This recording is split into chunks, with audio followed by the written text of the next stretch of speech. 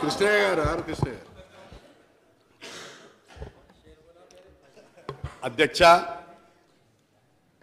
ముస్లిం minority సోదరులు ఇతర minority సోదరుల యొక్క దాని మీద లవ్ చర్చకు అవకాశం ఇచ్చినందుకు ధన్యవాదాలు తెలుపుతూ ముస్లిం సోదరులు సమాజం లోపల చాలా నిర్లక్ష్యానికి నిరాదరణకు గురై ఆ- చాలా ప్రాంతాల్లో ఓల్డ్ సిటీలు కానీ ఇతర పట్టణ ప్రాంతాలు కానీ గ్రామీణ ప్రాంతాల్లో దుర్భరమైనటువంటి పేదరికాన్ని గడుపుతున్నటువంటి పరిస్థితిని మనం చూశాం.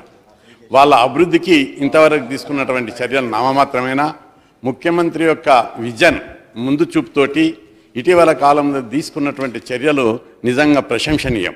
ఎందుకంటే వారి అభివృద్ధికి ఆ ఈ వర్గాలను అభివృద్ధి చేయాలంటే ఏం చేస్తే వీళ్ళు సమగ్రమైన మౌలికమైనటువంటి అభివృద్ధి సాధిస్తారనేటువంటి విజన్ తోటి రెండు వందల ఆరు రెసిడెన్షియల్ పాఠశాలలు పెట్టి వాళ్ళను విద్యారంగంలో అభివృద్ధి చేస్తే అన్ని రంగాల్లో ఆటోమేటిక్గా అభివృద్ధి చెందుతారనేటువంటి విజన్ చాలా గొప్ప విషయం.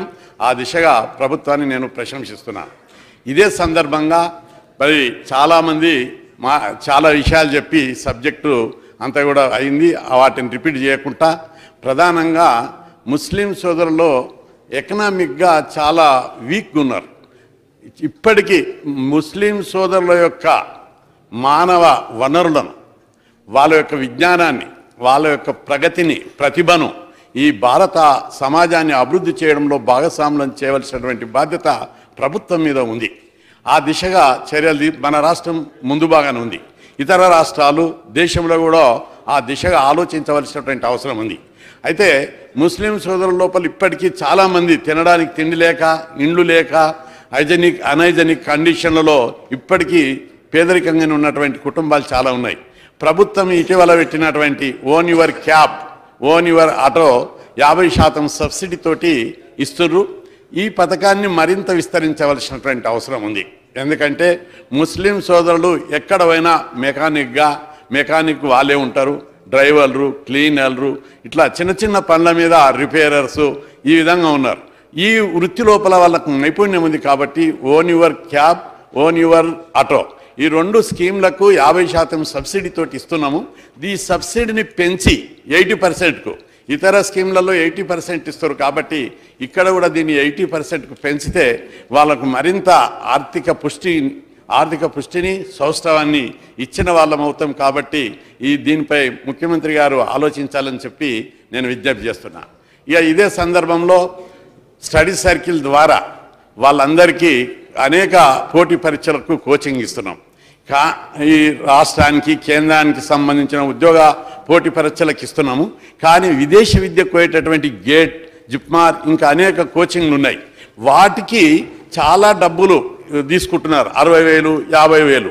ముస్లిం సోదరులు అంత డబ్బు పెట్టి కోచింగ్ తీసుకునేటువంటి పరిస్థితి లేదు. కాబట్టి ప్రభుత్వము దాన్ని మేనే ఆ సంస్థ యజమాన్యాలతో మాట్లాడి కొంతమందిని ఎంపిక చేసి ఆ కోచింగ్ సెంటర్లల్లా గేట్ కానీ జిప్మార్ కానీ ఇంకా రకరకాల కోచింగ్ సెంటర్లు ఏవైతే ఉన్నాయో సిప్ వాటికి ప్రభుత్వం తరపున వాళ్ళ కోచింగ్ ఇచ్చినట్టయితే విదేశానికి వెళ్ళే విదేశ విద్యార్థులు మరింత ఎక్కువ మంది అయ్యేటటువంటి అవకాశం ఉంటుంది. ఇక మూడవ పాయింట్కి వచ్చినట్టయితే ప్రభుత్వము విదేశ ఓవర్సీస్ పథకం కూడా మైనార్టీలకు పెట్టింది. కానీ ఇన్కమ్ సీలింగు రొటీన్గా స్కాలర్షిప్లకు పెట్టినట్టే ఉంది.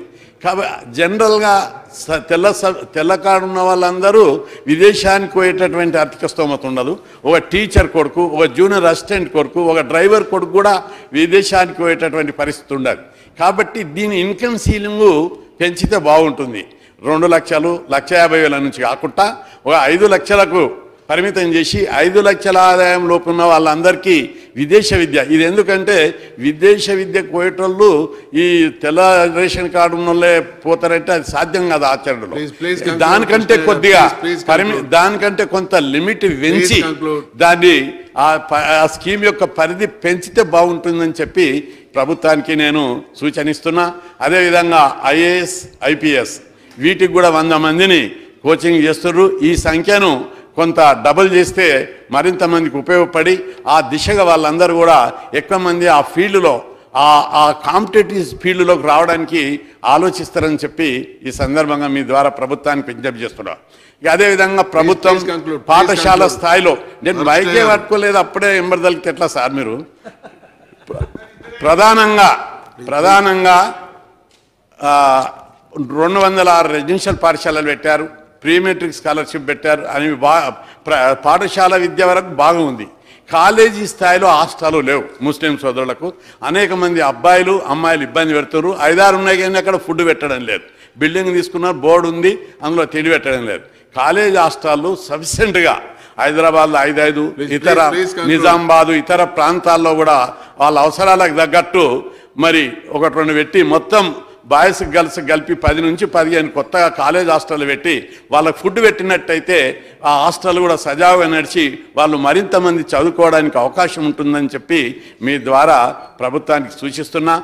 ముస్లిం సోదరులను అభివృద్ధి చేయవలసిన అభివృద్ధి చేయడం అంటే భారత జాతి లోపల భారతీయ సమాజం లోపల వాళ్ళ అభివృద్ధి లోపల భాగస్వామ్యం చేయడమే అవుతుంది తప్ప మరేం కాదు. అంతేకాకుండా ఆ- కమ్యూనిటీలో ఉన్నటువంటి అండర్స్ట్ కావాలంటే విద్యయే ఏకైక మార్గమనే ప్రభుత్వ విజన్ చాలా ముందు చూపుతూ చేసినటువంటి చర్యను మంచిది ఇంకా ఈ రంగం లోపల విద్య ఉద్యోగ ఆర్థిక రాజకీయ రంగం లోపల వాళ్ళని ప్రోత్సహించవలసినటువంటి అవసరం ఉంది ముస్లిం సోదరుల యొక్క స్థితిగతులు ఇప్పటి వరకు విచారణ జరిపినటువంటి జస్టిస్ రంగనాథ మిశ్రా సచార్ కమిటీ గోపాల్ సింగ్ అదేవిధంగా ఇంకా. మానవ అభివృద్ధి. కమిటీ షాంపుల్ సర్వే ఏ రిపోర్ట్ చూసినా వాళ్ళు అత్యంత పేదరికంగా ఉన్నటువంటి రిపోర్ట్లు మనకు కళ్ళకు కనిపిస్తున్నాయి కాబట్టి వాళ్ళ అభివృద్ధికి మరిన్ని చర్యలు తీసుకోవడానికి మీ ద్వారా ప్రభుత్వానికి నేను సూచిస్తున్నా. ఆ దిశగా ప్రభుత్వం ఇంతవరకు తీసుకున్న చర్యలు ఓకే. ఇంకా మరిన్ని చర్యలు తీసుకొని వాళ్ళ అభివృద్ధికి ముందుకు దూసుకుపోవాలని చెప్పి విజ్ఞప్తి చేస్తున్నాను.